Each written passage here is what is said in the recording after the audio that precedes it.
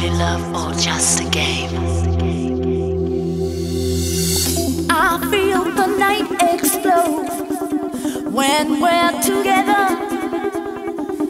Emotional overload in the heat of play.